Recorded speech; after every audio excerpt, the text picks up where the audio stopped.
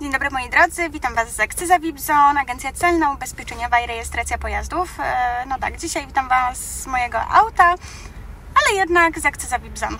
E, Moi kochani, porozmawiamy sobie dzisiaj troszkę o podatku akcyzowym, a więc o pojazdach sprowadzonych. E, Dzisiaj weźmiemy sobie na tapetę pojazdy sprowadzone z Unii Europejskiej.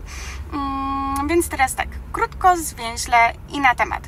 E, Każdy pojazd sprowadzony spoza Unii Europejskiej od momentu przekroczenia granicy Polski ma obowiązek, aby zgłosić pojazd do akcyzy w ciągu 14 dni, a w ciągu 30 dni ten podatek opłacić.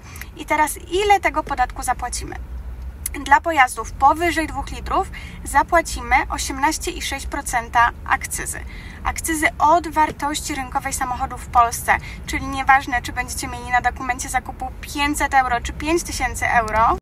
Jeżeli wartość na dokumencie zakupu odbiega znacząco od wartości rynkowej pojazdu, to nie będzie ona miała większego znaczenia, bo podatek i tak zapłacimy od wartości rynkowej pojazdu w Polsce.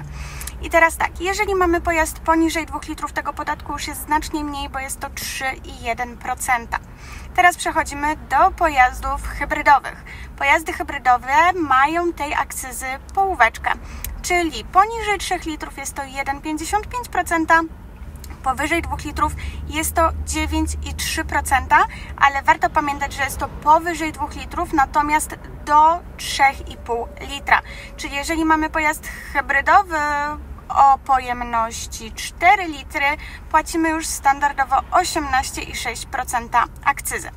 E, Jeżeli chodzi o pojazdy elektryczne, pojazdy elektryczne są zwolnione z akcyzy, jednak e, nie jest sobie jednak nie jest to tak, że od razu lecimy sobie do Wydziału Komunikacji i rejestrujemy pojazd, e, ponieważ musimy również e, zgłosić się do Urzędu Skarbowego i uzyskać e, dokument potwierdzający, że pojazd jest zwolniony z akcyzy, a tak naprawdę, że akcyza nie jest od niego należna.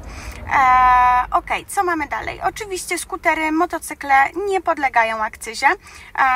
Pojazdy ciężarowe powyżej 3,5 tony również nie podlegają akcyzie i tutaj nie musimy pobierać żadnego zaświadczenia z Urzędu Skarbowego. Natomiast pojazdy do 3,5 Natomiast pojazdy ciężarowe dostawcze do 3,5 tony pod warunkiem, że nie są one osobowe, czyli mają maksymalnie 3 miejsca z przodu w jednym rzędzie i pakę tak zwaną. E, tutaj też ubiegamy się o zaświadczenie o zwolnieniu, o braku obowiązku podlegania akcyzie tego pojazdu. Kolejne pojazdy, które mogą być zwolnione z podatku akcyzowego to pojazdy zabytkowe, kolekcjonerskie oraz pick-upy, które mają określoną rozstaw osi, ale jest to już troszkę dłuższy temat. E, moi kochani, na sam koniec oczywiście serdecznie zapraszam Was do skorzystania z naszych usług, jeżeli potrzebujecie pomocy w dopełnieniu formalności akcyzowych za Wasze pojazdy, w rejestracji pojazdów, w tłumaczeniu dokumentów, w ubezpieczeniu ich na sam koniec. Świadczymy taką pomoc i takie usługi w jedyne 24 godziny. Zapraszamy.